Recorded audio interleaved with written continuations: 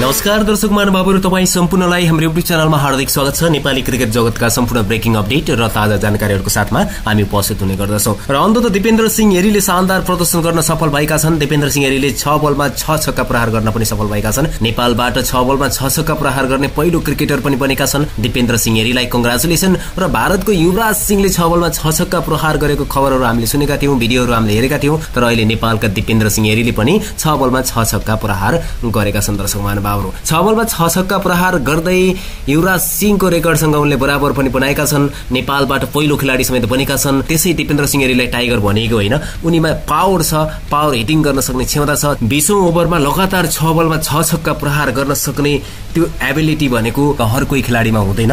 त्यो कारणले गर्दा दिपेन्द्र सिंह हेरीमा त्यो एबिलिटी छ र त्यो प्रतिभा छ। त्यस कारणले गर्दा उनले देखाइदिएका छन् र कतारलाई हम्मे हम्मे पनि बनाइदिएका थिए। मङ्गोलिया विरुद्ध दिपेन्द्र सिंह हेरीले नौ बल बलमा नै अर्धशतक बनाएका थिए त्यो रेकर्ड आफैमा शानदार रहेको थियो र धेरैले भनेका थिए भन्नेहरूले भनिरहेका थिए कि मङ्गोलिया जस्तो टिमसँग दिपेन्द्र सिंह हेरीले अर्धशतक बनाए सबैभन्दा छिटो अर्धशतक बनाउने खेलाडी बने कमजोर टिमको अगेन्स्ट भनेर पनि भनिएको थियो। तर यो कतार भने बलियो नै रहेको छ र कतारले एकदमै दबावमा राखेको थियो नेपाललाई त्यस्तो अवस्थामा पनि अन्तिम ओभरमा प्रेसर सिचुएसनमा दिपेन्द्र सिंह हेरीले छ बलमा छ छक्का प्रहार गर्न सफल भएका थिए। र दिपेन्द्र सिंह हेरीले एसएससी प्रिमियर कपमा कतार विरुद्धको खेलमा छ बलमा छ छक्का प्रहार गरेका हुन् दर्शकवृन्द दिपेन्द्रले बिसौँ ओभरमा कमरान खानको ओभरमा छ छक्का प्रहार गरेका थिए। कतारका कमरान खानको ओभरमा एकै ओभरमा छ बलमा छ छक्का प्रहार गरेका हुन्। दिपेन्द्रले एसियादमा मङ्गोलिया विरुद्ध दुई फरक ओभरमा लगातार छ छक्का हानेका थिए तर अहिले भने एकै ओभरमा छ बलमा छ छक्का प्रहार गरेका छन् र पहिलो नेपाली खेलाडी पनि बनेका छन्। यो इतिहास बनाउन सफल भएकोमा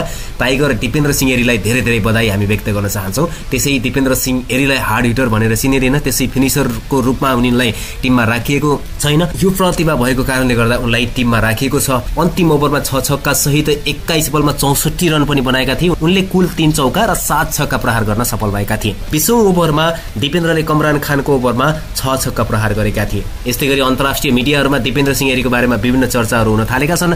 दिपेन्द्र सिंह एरीले मङ्गोलिया विरुद्ध शानदार रेकर्ड बनाउन सफल भएका थियो यो सँगै एसएससी प्रिमियर कपमा पनि कतार विरुद्ध शानदार प्रदर्शन गर्न सफल भएका छन्। छ बलमा छ छक्का प्रहार गरेसँगै भारतीय मिडियामा हलचल नै आएको छ। दिपेन्द्र सिंह एरीको नाममा यो कृतिमान भन्दै विभिन्न समाचारहरू पनि आइरहेका छन्। दर्शक महानुभावहरू नेपालका हार्ड हिटर नेपाली क्रिकेट टिमलाई उचाइमा पुर्याउनको लागि उच्च लेभलमा पुर्याउनको लागि दिपेन्द्र सिंह एरीको निकै नै महत्वपूर्ण योगदान छ र नेपाली क्रिकेटलाई थप उचाइमा र नेपाली क्रिकेट थप चर्चामा रहेको कारण पनि दिपेन्द्र सिंह एरी नै रहेका छन्। तपाईँले कहाँ कहाँबाट हेर्दै र सेलिब्रेसन गर्दै हुनुहुन्छ दिपेन्द्र सिंह एरीको छ बलमा छ छक्का? सो बारेमा तलको कमेन्ट बक्समा लेखिदिनु होला र त्यस्तै गरी कङ्ग्रेचुलेसन दिपेन्द्र सिंह एरी भनेर पनि लेख्न नबिर्सिनु होला टाइगरलाई मन पुऱ्याउने जति सबैजनाले च्यानललाई सब्सक्राइब गरिदिनु होला। भिडियोलाई एक लाइक गर्न पनि नबिर्सिनु होला। भेटिन्छौँ अर्को नयाँ सामग्रीको साथमा नयाँ भिडियोमा। अहिलेलाई भने बिदा दिनुहोस्। जय नेपाल जय नेपाली क्रिकेट।